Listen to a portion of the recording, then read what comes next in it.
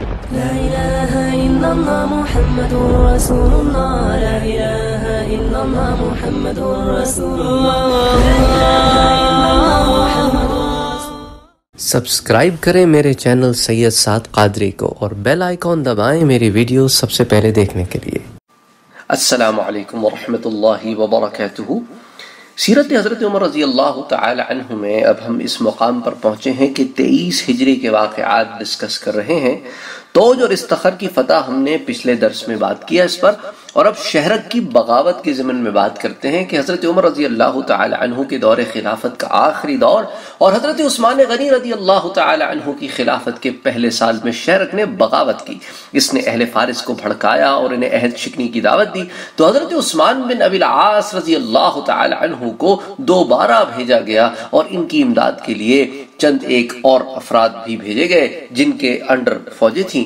ان افراد کے نام امام تبری نے کچھ یوں جمع کیے۔ ان میں سے ایک تو عبداللہ بن معمر تھے اور ایک شبل بن معبد بجلی تھے۔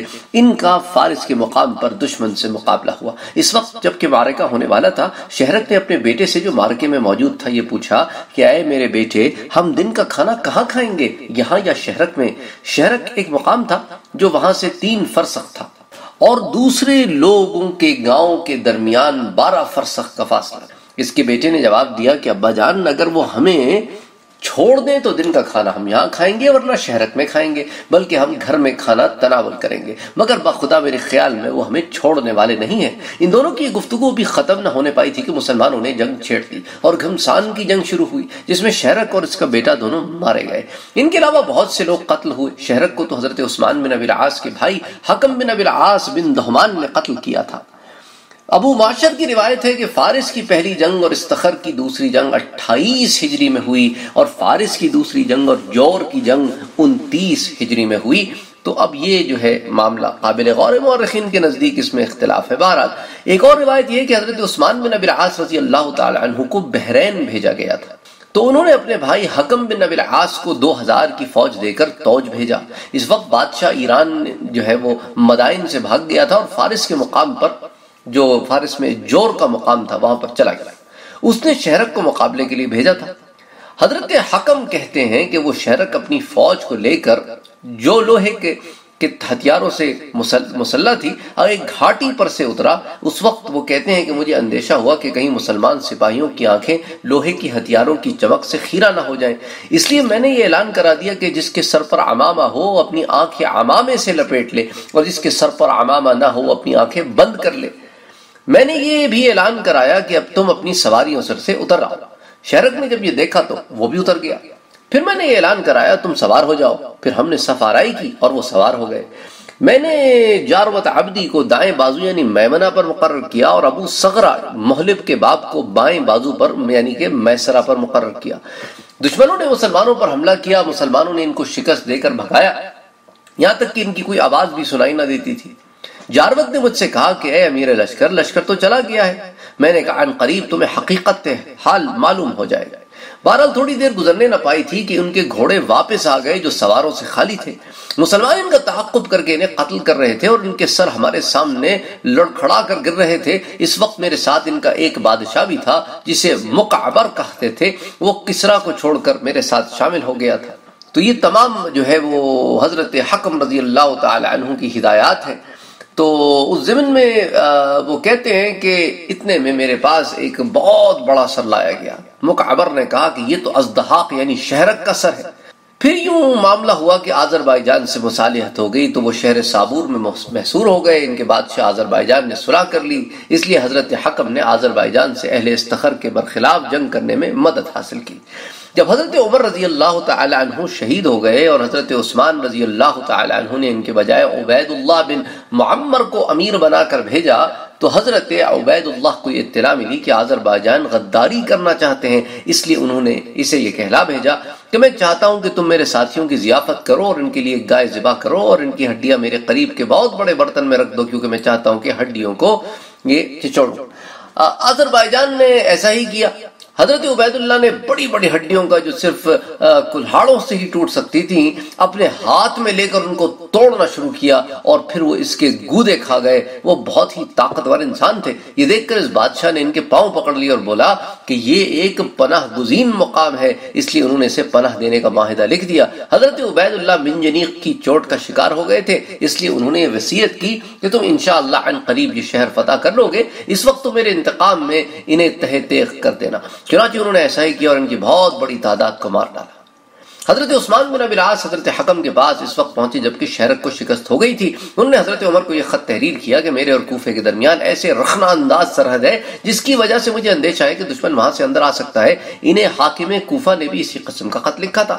اتفاق سے دونوں خط حضرت عمر رضی اللہ تعالیٰ عنہ کو ایک دم ملے۔ اس لیے انہوں نے حضرت ابو موسیٰ عشاری رضی اللہ تعالیٰ عنہ کو سات سو سپاہیوں کی فوج دے کر بھیجا اور انہیں بسرے میں مقیم رکھا۔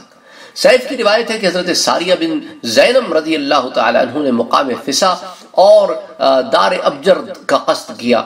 یہاں تک کہ وہ دشمن کے لشکر کے قریب پہنچ گئے اور وہاں فروکش ہو گئے اور جب تک اللہ نے چاہا ان کا محاصرہ کیا۔ اس کے بعد دشمن نے امداد حاصل کر لی اور ان کی بڑی تعداد ہو گئی اور فارس کے کردان کے ساتھ کرد جو ہے، وہ بھی ان کے ساتھ آ کے شامل ہو گئے۔ اس کی وجہ سے مسلمانوں کے خلاف انہیں سخت مقابلہ کرنے کی جو ہے ایک بہت بڑی جمعیت میسر آئی اور پھر یہ معاملہ جو ہے وہ گمبھیر ہوتا چلا گیا۔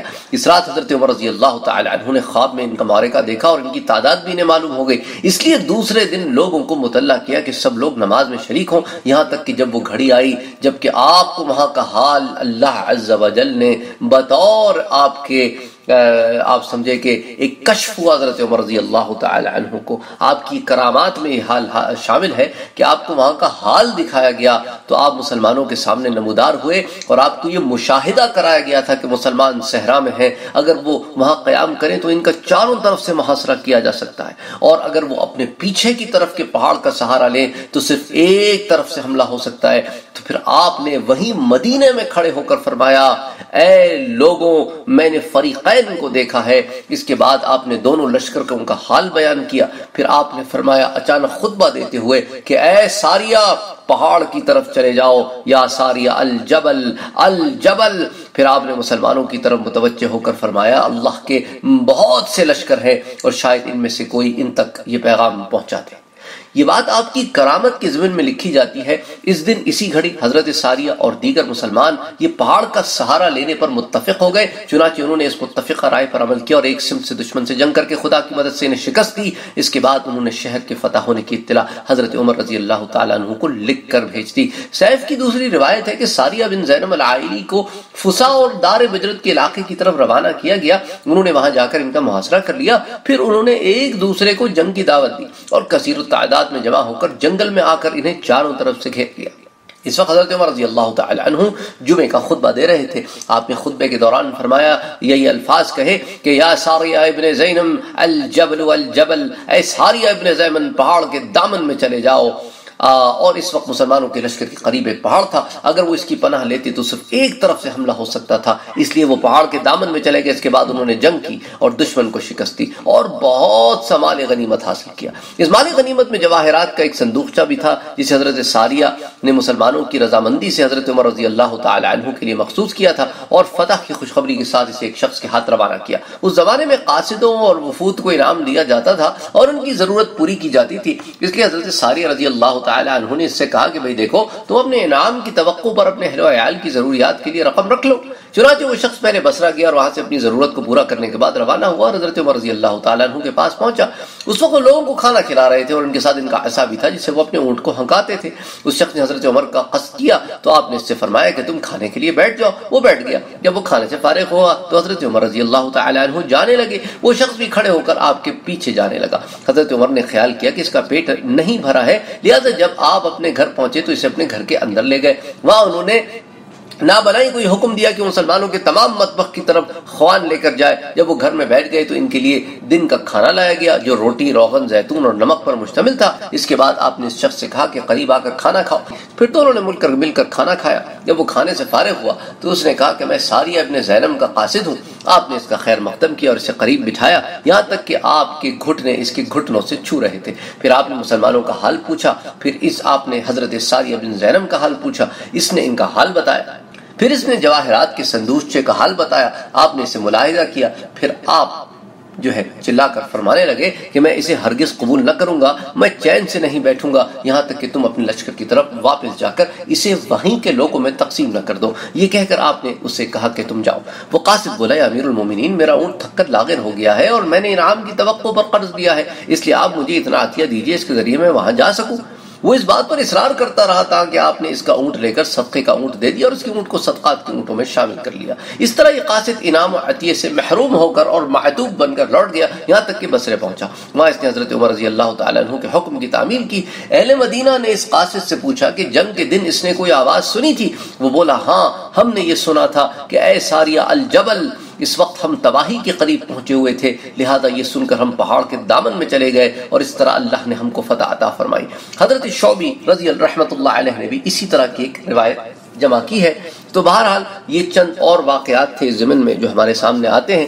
انشاءاللہ تعالی پھر اگلے درس میں ہم، درس میں ہم فتح کرمان کو ڈسکس کریں گے۔ السلام علیکم ورحمۃ اللہ وبرکاتہ۔